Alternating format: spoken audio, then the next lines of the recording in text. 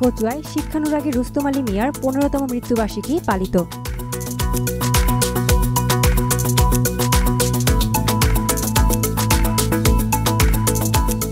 চাঁদপুরের কচুয়া উপজেলার ঐতিহ্যবাহী পালাখাল রোস্তম আলী ডিগ্রি কলেজের দাতা ও বাংলাদেশ সরকারের চট্টগ্রাম ও সিলেট বিভাগের পরিবার পরিকল্পনা অধিদপ্তরের সাবেক পরিচালক মরহুম রুস্তম আলী মিয়ার পনেরোতম মৃত্যুবার্ষিকী পালিত হয়েছে।